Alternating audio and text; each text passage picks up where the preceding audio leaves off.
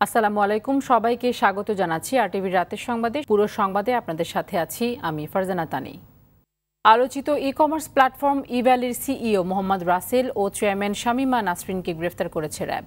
বিকেলে রাসেলের রাজধানীর মোহাম্মদপুরের বাসায় অভিযান চালিয়ে তাদের গ্রেফতার করা হয়। এর আগে তাদের বিরুদ্ধে গুলশান থানায় প্রতারণা মামলা দায়ের করেন এক গ্রাহক। এদিকে পাওনা টাকার জন্য রাসেলের বাসার সামনে বিক্ষোভ করেন ভুক্তভোগী গ্রাহকরা। আপেল শাহরিয়ারকে সাথে নিয়ে বিস্তারিত জানাচ্ছেন শরীয়ত খান। প্রতারণার মামলায় বৃহস্পতিবার বিকেলে রাজধানীর মোহাম্মদপুরে রাসেল ও শামিমা দম্পতির বাসায় অভিযান চালায় র্যাব। প্রায় এক ঘণ্টা অভিযান শেষে বাসা থেকে গুরুত্বপূর্ণ আলামত জব্দের পর তাদেরকে নেওয়া হয় উত্তরায় র্যাব হেডকোয়ার্টারে। এ সময় রাসেলের বাসার সামনে ভিড় করেন ভুক্তভোগীরা। রাসেল ও তার স্ত্রীকে গ্রেপ্তারের প্রতিবাদে বিক্ষোভ করেন তারা। এত বছর একটা বিশাল একটা কোম্পানি হয়ে গেছে না বিশাল একটা ব্র্যান্ড ভ্যালু আছে অবশ্যই পাইতো। তাদেরকে সময় দেওয়া উচিত ছিল আমরা কাস্টমারের সময় দিতে চাই সরকারের উচিত ছিল মানে সময় দেওয়া মানে একদম চুরমার করে দেওয়া হলে আজকের এই ঘটনার মধ্যে দিয়ে এটা আমরা নিন্দা জানাই তীব্র নিন্দা জানাই। এখন যদি উনাকে গ্রেপ্তার করা হয় আমরা গত যে ই কমার্সগুলোর অবস্থা দেখেছি যাদেরকে গ্রেপ্তার করা হয়েছে সেখানে আমরা কোনো আশা পাই নাই। ই অরেঞ্জের গ্রাহকরা রাস্তায় নেমে আমরা আন্দোলন করেছি কিন্তু তারপরও আমরা কোনো সমাধান পাই নাই আমি চারটা ক্যাম্পিংয়ে প্রায় বারো লক্ষ টাকার মতো। এর আগে গুলশান থানায় প্রতারণা মামলা দায়ের করেন আরিফ বাকের নামে ইভ্যালির এক গ্রাহক। সময় মতো পণ্য না পেয়ে ইভ্যালির কাস্টমার কেয়ার সেন্টার ও অফিসে গিয়ে পণ্য পাওয়ার বদলে দুর্ব্যবহারের শিকার হন বলে অভিযোগ করেন তিনি। মূলত তাদের বিরুদ্ধে যে অভিযোগ ছিল সেটা হচ্ছে যে প্রতারণা ও অর্থ আত্মসাতের অভিযোগ। এই প্রেক্ষিতে আমরা তাদেরকে গ্রেফতার করেছি। এবং গ্রেফতার করে তাদেরকে আমরা র্যাব সদর দপ্তরে নিয়ে এসেছি। এখানে প্রাথমিক জিজ্ঞাসাবাদ চলছে। প্রাথমিক জিজ্ঞাসাবাদ পরবর্তীতে আমরা তাদের বিরুদ্ধে আইনের ব্যবস্থা গ্রহণ করব। তার বাসায় আমরা, তার যে ব্যবসায়িক যে বিভিন্ন ডকুমেন্ট সহ বিভিন্ন জিনিস, এগুলো আমরা চেক অ্যান্ড ব্যালেন্স করেছি। প্রতারণা ও গ্রাহক হয়রানির অভিযোগে ইভ্যালির এমডি রাসেল ও চেয়ারম্যান শামিমা নাসরিনের বিরুদ্ধে এর আগেও বিভিন্ন জেলায় কয়েকটি মামলা হয়। দুই হাজার ষোলো সালে শুরু করলেও দুই হাজার আঠারো সালে ই বাণিজ্যের প্ল্যাটফর্ম হিসেবে প্রতিষ্ঠা লাভ করে ইভ্যালি। শুরুতে মোটরসাইকেল গাড়ি সহ বিভিন্ন উচ্চমূল্যের পণ্যে প্রতিষ্ঠানটি দেয় লোভনীয় ছাড়। তাদের কৌশলের ফাঁদে পা দেয় দেশের প্রায় পাঁচ কোটি গ্রাহক। পঁয়ষট্টি কোটি সতেরো লাখ টাকা সম্পদের বিপরীতে ইভ্যালির দেনা চারশো তিন কোটি আশি লাখ টাকা। গত মঙ্গলবার ইভ্যালির বিরুদ্ধে ব্যবস্থা নিতে স্বরাষ্ট্র মন্ত্রণালয়কে সুপারিশ করার সিদ্ধান্ত নেয় বাণিজ্য মন্ত্রণালয়ের নেতৃত্বাধীন আন্তঃমন্ত্রণালয় committee. Shariat Khan, R TV Dhaka. Ziaur রহমানের মৃত্যুর পর লাশ খুঁজে পাওয়া যায়নি। তৎকালীন সেনাপ্রধান হোসেন মোহাম্মদ এরশাদ তা নিশ্চিত করেছিলেন বলে মন্তব্য করেছেন প্রধানমন্ত্রী শেখ হাসিনা। জাতীয় সংসদে তিনি একথা বলেন। প্রধানমন্ত্রী এ সময় জানান, গৃহহীনদের দেওয়া উপহারের ঘর, নির্মাণে দুর্নীতি ও সেগুলো ভাঙার সঙ্গে জড়িতদের খুঁজে বের করতে দুদককে কঠোর ব্যবস্থা নেয়ার নির্দেশ দেওয়া হয়েছে। আতিকা রহমান জানাচ্ছেন বিস্তারিত। রাজধানীর চন্দ্রিমা উদ্যানের সমাধিতে বিএনপির প্রতিষ্ঠাতা সামরিক শাসক জিয়াউর রহমানের লাশ থাকা না থাকা নিয়ে তর্ক বিতর্ক হয়েছে সংসদে। বৃহস্পতিবার বাংলাদেশ জাতীয় আর্কাইভস বিল দুই বাছাই কমিটিতে পাঠানো এবং সংশোধনী প্রস্তাবের ওপর আলোচনার সময় জিয়ার প্রসঙ্গ নিয়ে পাল্টাপাল্টি বক্তব্য দেন বিএনপি, আওয়ামী লীগ ও জাতীয় পার্টির সংসদ সদস্যরা। জনমনে বিভিন্ন সন্দেহ যে কি কিসে জানাজা করতেছি, বাক্সে না জিয়া রহমান আছে কেন কোনো মন্ত্রীও দেখেনি? সমাপনী বক্তব্যে প্রধানমন্ত্রী বলেন চন্দ্রিমা উদ্যানে জিয়ার কোনো লাশ নেই খালি বাক্স এনে সেখানে গায়েবানা জানাজা পড়ানো হয়। আর এই তথ্য সেই সময় সেনাপ্রধান হুসেন মোহাম্মদ এরশাদ নিজেই জানান। এ সময় মুক্তিযুদ্ধে জিয়াউর রহমানের ভূমিকা নিয়েও প্রশ্ন তোলেন প্রধানমন্ত্রী। জিয়ার মৃত্যু সংবাদের পর তার লাশ খুঁজে পাওয়া যায়নি। গায়ে গায়েবানা জানাজা হয়েছিল। কয়েকদিন পরে একটা বাক্স আনা হলো। সাজিয়ে গুজিয়ে একখানা বাক্স নিয়ে এসে দেখানো হলো। লাশ শনাক্ত করছিল বীর শকত আমি জিজ্ঞাসা করেছিলাম, সত্যি কথা বলেন তো? বলে যে, লাশ কোথায় পাবো? ইভেন জেনারেল এরশাদ সাহেব, তাকে আমি বললাম যে, আপনি যে বাক্স নিয়ে আসলেন, এই মৃত্যু কিছুদিন আগেও বারবার জিজ্ঞেস করতে আপনি একটু বলেন তো যে, আপনি যেটা বাক্স আনলেন, লাশটা আপনি আমাকে বলছে, বোন, লাশ পাবো কোথায়? মুজিব বর্ষ উপলক্ষে আশ্রয়ন প্রকল্পের আওতায় গৃহহীনদের দেয়া ঘর বিষয়ে প্রধানমন্ত্রী বলেন, প্রকল্পের অনিয়ম দুর্নীতির রিপোর্ট তৈরি করা হয়েছে এবং যারা ঘরবাড়ি ভেঙেছে তাদের বিষয়েও অনুসন্ধান করবে দুদক। দরজা জানলার উপরে হাতুড়ির আঘাত। ফ্লোরগুলি খুঁচে খুঁচে ওটা ভাঙা। আমার আমি যদি জানতাম পোস্ট উঠবে, আমি ছবিটা নিয়ে আসতাম, আগামীতে ছবি দেখাবো। এটা কারা করল? কারা করছে? তদন্ত হচ্ছে, এর মধ্যে কিছু অ্যারেস্ট হয়েছে। দুর্নীতি দমন কমিশন তদন্ত বন্ধ করবে কেন? তদন্ত করে দেখতে হবে। এখানে যারা ভাঙলো, তারা কারা?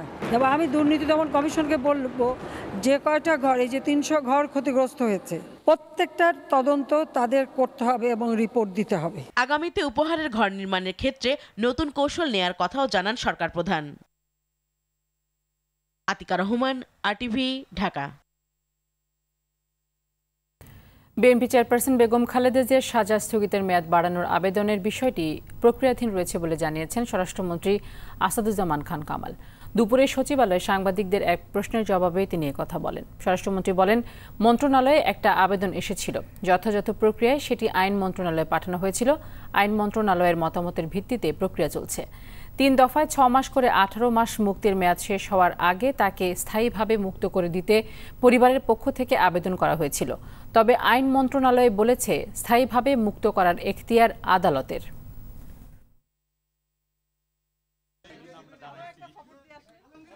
খালেদা জিয়ার ছোট ভাই আমাদের কাছে একটা আবেদন নিয়ে আসছিলেন। আমরা যথাযথ প্রক্রিয়া করার জন্য আইন মন্ত্রণালয়ে পাঠিয়েছি। এই এটা আইন মন্ত্রণালয় থেকে মানে যে অভিমত দিয়েছিল সেই অনুযায়ী প্রক্রিয়া চলছে। মাননীয় প্রধানমন্ত্রীর ওখানে যাবে এগুলি আপনারা সবই জানেন এটা প্রক্রিয়াধীন রয়েছে। আমি তো বলেছি প্রক্রিয়াধীন আছে। প্রক্রিয়া চলছে। নিয়মিত অসত্য বক্তব্য উপস্থাপন করে সরকারের বিরুদ্ধে অভিযোগ উত্থাপন বিএনপির রোজ নামচায় পরিণত হয়েছে বলে মন্তব্য করেছেন সেতুমন্ত্রী ও আওয়ামী লীগের সাধারণ সম্পাদক ওবায়দুল কাদের। বৃহস্পতিবার নিজ বাসভবনে ব্রিফিংয়ে এই মন্তব্য করেন তিনি। কাদের বলেন, মিথ্যাচারের রাজনীতি বিএনপির সম্বল। তারা রাজনীতির মাঠে নেই, করোনায় মানুষের পাশে নেই।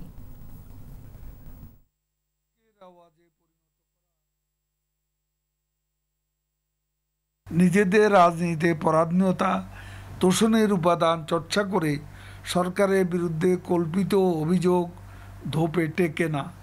বিএনপি দেশকে মগের মূল্যকে রূপান্তরিত করতে চেয়েছিল। শেখ হাসিনা সরকার সে অবস্থা থেকে উদ্ধার করে দেশে শান্তি ও স্থিতিশীলতা প্রতিষ্ঠার জন্য অবিরাম প্রয়াস চালিয়ে যাচ্ছে। এগারো সাংবাদিক নেতার ব্যাংক হিসাব তলব করা নিয়ে ক্ষুব্ধ প্রতিক্রিয়া জানিয়েছেন সাংবাদিক নেতারা। জাতীয় প্রেস ক্লাবে ঢাকা সাংবাদিক ইউনিয়নের সাধারণ সভায় বিষয়টি নিয়ে প্রশ্ন তুলেছেন তথ্যমন্ত্রী হাসান মাহমুদ। ইরশাদ জাহান ইমাকে সঙ্গে নিয়ে রিপোর্ট করছেন জুলহাস কবির। গেল সোমবার জাতীয় প্রেস ক্লাবের সভাপতি ও সম্পাদক সহ চার সংগঠনের এগারো সাংবাদিক নেতার ব্যাংক হিসাব তলব করে বাংলাদেশ ব্যাংকের ফাইন্যান্সিয়াল ইন্টেলিজেন্স ইউনিট বিএফআইইউ। এরপর থেকেই তীব্র সমালোচনা শুরু হয় সাংবাদিক মহলে। ক্ষোভ প্রকাশ করেন সাংবাদিক নেতারা। প্রতিষ্ঠিত সাংবাদিকদের সঙ্গে বাংলাদেশ ব্যাংকের এমন আচরণের তীব্র নিন্দা জানান তারা। আজকে আমরা যে চিঠি পেয়েছি সেটি গোপন থাকার কথা কিন্তু সেটি ব্যাংক পাওয়ার আগে সংবাদ মাধ্যমে কারা ছড়িয়ে দিয়েছিল এবং কারা এর পিছনে আছে? আমি চাই আমার অ্যাকাউন্ট পুঙ্খানুপুঙ্খভাবে অনুসন্ধান করে প্রাপ্ত যে তথ্যপত্র সকল কিছু আবার অনুরূপ গুরুত্ব দিয়ে জনসমক্ষে প্রকাশ করতে হবে। অন্যথায় এটি হবে মানহানির সামিল বিষয়টি নিয়ে বৃহস্পতিবার জাতীয় প্রেস ক্লাবে ঢাকা সাংবাদিক ইউনিয়নের সাধারণ সভায় উদ্বেগ প্রকাশ করেন স্বয়ং তথ্যমন্ত্রী। এটি আসলে কেন হলো সেটি আমার কাছে এখনও একটি বড় প্রশ্ন। কারণ প্রেসিডেন্ট সেক্রেটারি আবার সাংবাদিকদের সমস্ত পেশাজীবী সংগঠনের প্রেসিডেন্ট সেক্রেটারিকে দেওয়া হয়েছে। সরকার অবশ্যই যে কারও ব্যাংক হিসাব তলব করতে পারে। ব্যাংক হিসাবে বিদেরও তলব করা হয়। ব্যাংক হিসাব রাজনীতিবিদদের তলব করা হয়। ব্যাংক হিসাব ব্যবসায়ীদেরও তলব করা হয়। কিন্তু সমস্ত নেতৃত্বের কেন করা হলো সেটি আমার কাছে একটি বড় প্রশ্ন। ডিজিটাল সিকিউরিটি আইন যেন সাংবাদিকদের দায়িত্ব পালনের ক্ষেত্রে প্রতিবন্ধকতা তৈরি না করে সেদিকে খেয়াল রাখতে হবে বলে জানান তথ্যমন্ত্রী। এটি যেন কোনোভাবে আইনের যেন অপব্যবহার না হয়। Zulhas Kabir R TV Dhaka. Rohingya issue হারিয়ে যাচ্ছে না, তারা নির্যাতিত, এটা গোটা বিশ্ব জানে। একদিন এরা সবাই ফিরে যাবে, এমনটা জানিয়েছেন পররাষ্ট্রমন্ত্রী আব্দুল মোমেন। বিকেলে প্রধানমন্ত্রী জাতিসংঘ সফর নিয়ে সংবাদ সম্মেলনে এসব কথা জানান মন্ত্রী। ভ্যাকসিন নিয়ে সরকার হতাশ নয় জানিয়ে পররাষ্ট্রমন্ত্রী বলেন, শিগগিরই স্থায়ী, স্থানীয়ভাবে টিকা উৎপাদন করা হবে। এছাড়া ওয়ার্ল্ড ফুড সামিট, জলবায়ু পরিবর্তন বিষয়ক গুরুত্বপূর্ণ সভা ও জাতিসংঘের অধিবেশনে প্রধানমন্ত্রী গুরুত্বপূর্ণ ভাষণ দেবেন বলে জানান পররাষ্ট্রমন্ত্রী আব্দুল মোমেন।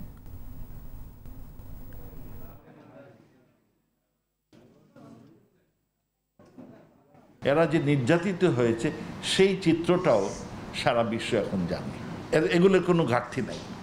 তো এই জন্যে আমি আশাবাদী, যদি এখনও কেউ যায় নাই, আমার আশা যে একদিন না একদিন এরা ফেরত যাবে। আমরা ভ্যাকসিন নিয়ে we have line it up প্রায় two hundred forty million vaccine আমাদের লাইন আপ হয়েছে। এক নম্বর। দুই নম্বর, আমরা লোকাল প্রোডাকশনেও যাব।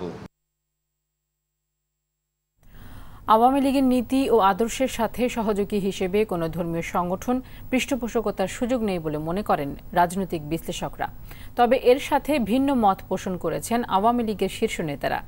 সমর্থক সংগঠন হিসেবে ওলামা লীগ থাকতে কোনো বাধা নেই বলে মনে করেন তারা। তবে বর্তমান কমিটি বিলুপ্ত করে মুক্তিযুদ্ধের চেতনায় বিশ্বাসী আলেমদের নিয়ে ওলামা লীগকে শক্তিশালী সংগঠন হিসেবে গড়ে তোলা হবে বলে জানিয়েছেন আওয়ামী লীগের প্রেসিডেন্ট সদস্য ডক্টর আব্দুর রাজাক ভুঁইফোর সংগঠন নিয়ে শরীয়ত খানের ধারাবাহিক প্রতিবেদনের আজ দেখুন শেষ পর্ব।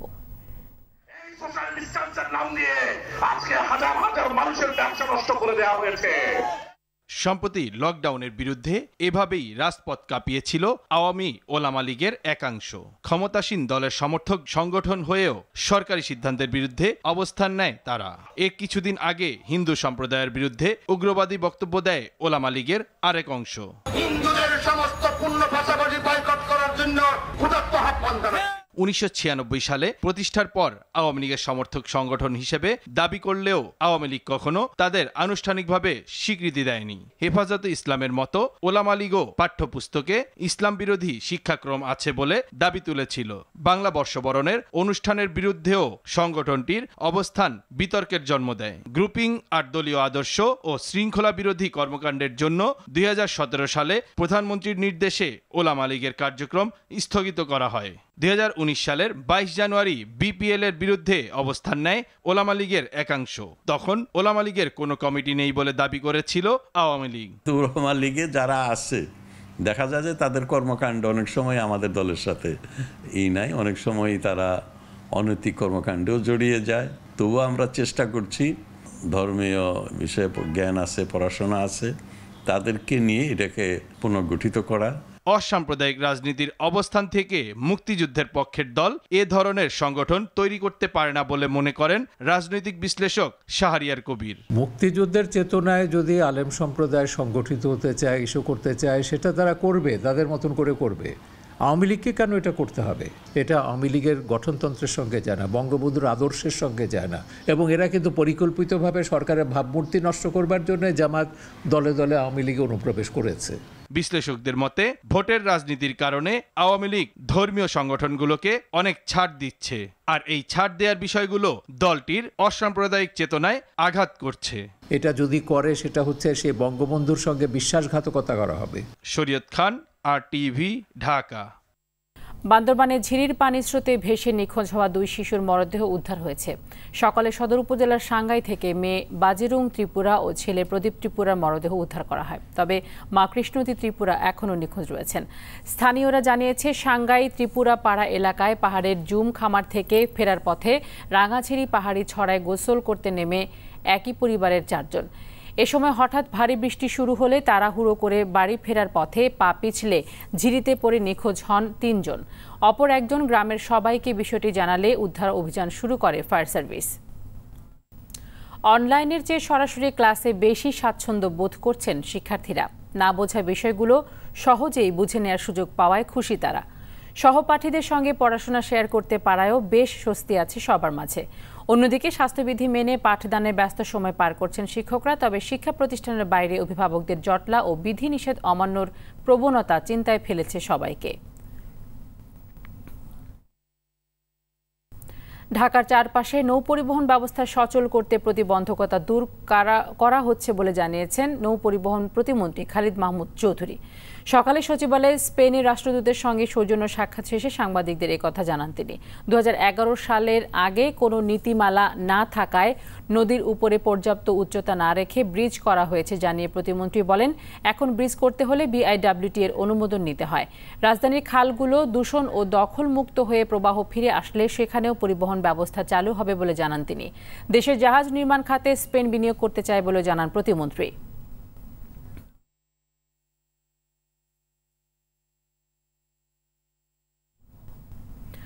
ভারতের সঙ্গে বাংলাদেশের সম্পর্ক, রক্তের বন্ধন এমন মন্তব্য করেছেন শিক্ষা উপমন্ত্রী মহিবুল হাসান চৌধুরী। সন্ধ্যায় রাজধানীর কাকরাইলে ইনস্টিটিউট অব ডিপ্লোমা ইঞ্জিনিয়ার্স বাংলাদেশে আইডিইবি আয়োজিত অনুষ্ঠানে প্রধান অতিথির বক্তব্যে তিনি এই মন্তব্য করেন। Indian technical and economic cooperation দিবস উদযাপনে এই অনুষ্ঠানের আয়োজন করা হয়। অনুষ্ঠানে স্বাগত বক্তব্য রাখেন বাংলাদেশে নিযুক্ত ভারতীয় হাইকমিশনার বিক্রম কুমার দোরাইস্বামী। ভারতের উন্নয়ন সহযোগিতা কর্মসূচির অংশ হিসেবে আইটেক কর্মসূচি প্রচলিত হয়, যার মাধ্যমে উন্নয়নশীল দেশগুলোকে ভারতের উন্নয়ন অভিজ্ঞতা এবং প্রযুক্তি সুবিধা প্রদান করা হয়।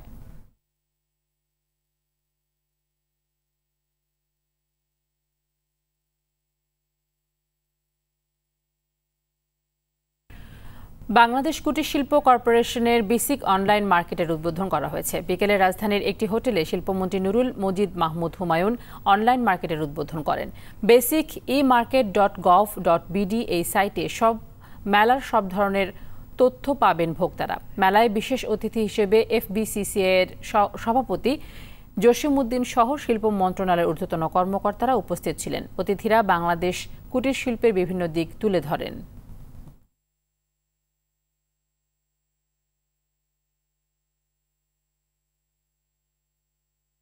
আমাদের সামনে কিন্তু অনেকগুলি লক্ষ্য আছে। আমাদের মাননীয় প্রধানমন্ত্রী আমাদের সামনে অনেকগুলি লক্ষ্য দিয়েছেন। উনি দুই হাজার একুশ সালের একটা লক্ষ্য দিয়ে বলছেন যে আমরা যে এলডিসি আছে, এলডিসি থেকে উত্তরণ করতে হবে। সেটি আমরা, এলডিসি উত্তরণ হচ্ছে। আমরা লো ইনকাম থেকে আমরা মিডল ইনকামে আসতেছি। লোয়ার মিডল থেকে লোয়ার লোয়ার মিডলে আসতেছি। সামনে যে আমাদেরকে একটা টার্গেট দিলেন এটা কিন্তু ইস ওয়ান্ডারফুল এটা আমি মনে করি এই যে টার্গেটটা থাকলে আমরা কাজ করে আগাতে পারি। তো এই টার্গেটগুলি অ্যাচিভ করার জন্য আমাদের অনেক কাজ করতে হবে। এই কাজটা সরকার নীতি সহায়তা দিবে, সরকার ফ্যাসিলিটেশন করবে। আমরা প্রাইভেট সেক্টর থেকে সেটাকে ইমপ্লিমেন্টেশন করব।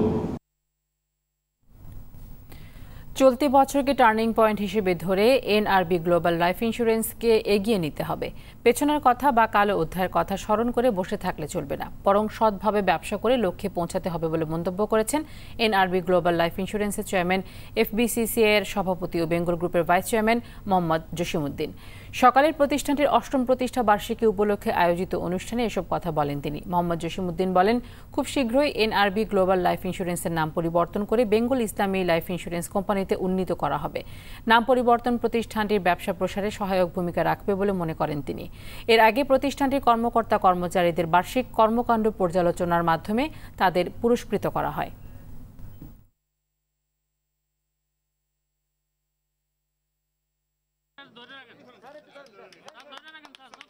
এনআরবি নিয়ে অনেক ধরনের ব্যাংক, অনেকগুলি ব্যাংক হয়েছে, অনেকগুলি ইয়ে হয়েছে। আবার নতুন দেখলাম যে NRB life, Islami life insurance একটা আসছে। এই নামের প্রতি একটু নেগেটিভ নেগেটিভ জিনিস ছিল। এই জন্য আমি মনে করি যে এখান থেকে বেরোতে চাই। বাট আমাদের যারা কাস্টমার তারা অটোমেটিকলি আমাদের এনআরবি থেকে বেঙ্গল লাইফে চলে আসবে। আপনাদেরকে অনুরোধ করব, আপনারা কখনোই মানুষকে ঠকাবেন না। মানুষ ঠকবে, এই ধরনের কোনো প্রস্তাব কাউকে দিবেন না। তাইলে আপনার, আপনি সৎভাবে যান, সৎভাবে চেষ্টা করেন। অবশ্যই আল্লাহ আপনার সাথে আছে, আপনার বরকত হবেই। ফিফা র্যাঙ্কিংয়ে আবারও পেছালো বাংলাদেশের অবস্থান। এক ধাপ পিছিয়ে এখন একশো উননব্বইতম অবস্থানে বেঙ্গল টাইগাররা। আজ ফিফার ওয়েবসাইটে প্রকাশিত সবশেষ হাল নাগাদে উঠে এসেছে এই তথ্য। কিরগিস্তানে তিন জাতি টুর্নামেন্ট ফিলিস্তিন ও কিরগিস্তানের কাছে হারে বাংলাদেশ। এতেই পেছালো র্যাঙ্কিং উন্নতি হয়ে একশোর মধ্যে ঢুকেছে ফিলিস্তিন ও কিরগিস্তান সাফের দেশগুলোর মধ্যে ভারত একশো সাত, মালদ্বীপ একশো আটান্ন, নেপাল একশো আটষট্টি ও ভুটান একশো সাতাশিতম। পাকিস্তান একশো আটানব্বই ও শ্রীলঙ্কা দুশো পাঁচ অবস্থান নিয়ে বাংলাদেশের পেছনে রয়েছে। পয়লা অক্টোবর শুরু হবে সাফ চ্যাম্পিয়নশিপ। ফিফা র্যাঙ্কিংয়ে শীর্ষস্থান ধরে রেখেছে বেলজিয়াম। দর্শক করোনা ভাইরাস নিয়ে আতঙ্কিত হবেন না, সতর্ক হন, নিজে পরিচ্ছন্ন থাকুন, মাস্ক পরুন, অন্যকে সচেতন করুন। এই সংকট মুহূর্তে প্রয়োজনীয় সব তথ্য নিয়ে আপনাদের পাশে আছে আর টিভি রাতের সংবাদ এই পর্যন্তই। আর টিভি সবশেষ সংবাদ জানতে যে কোনো মোবাইল ফোন থেকে two four one four one নাম্বারে ডায়াল করুন আর মোবাইল ফোনের সংবাদ দেখতে অ্যাপ স্টোর গুগল প্লে বা উইন্ডো স্টোর থেকে ডাউনলোড করুন আর টিভি অ্যাপস এছাড়া তাৎক্ষণিক ও বিনোদন সংবাদ জানতে বিশ্বের যে কোনো প্রান্ত থেকে ভিজিট করুন RTV online dot com Facebook dot com slash RTV online ও YouTube dot com slash RTV digitals এখন থেকে আরটিভির সব বিনোদনমূলক অনুষ্ঠান দেখতে পারবেন আরটিভি প্লাসে ধন্যবাদ সবাইকে।